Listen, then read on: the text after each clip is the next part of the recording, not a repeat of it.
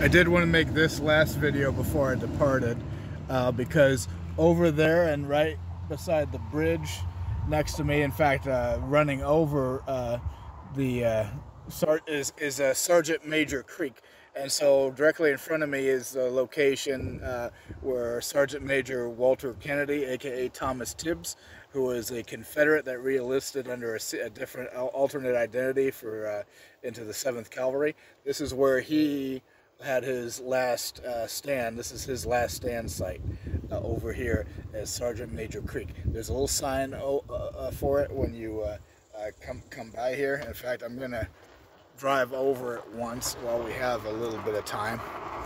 And like I said, it's some of this is private property or different. Um, yeah, I think you got a good gist of it.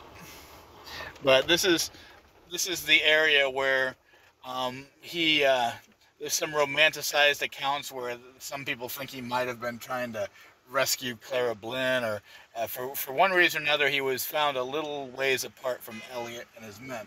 And when they found him, he uh, you know, obviously, uh, supposedly the story goes is they were get, he was getting ready to surrender, and when he was in the process of handing the chief his sword, he instead ran the chief through with the sword and killed the chief, and then they killed him.